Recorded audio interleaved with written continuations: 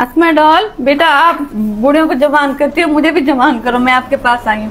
मेरी स्किन को fresh glow करो। अच्छा फ्रेश ग्लो करो। मैं तो छोड़ के अच्छा दिखाएँ इनकी स्किन दिखाएँ जरा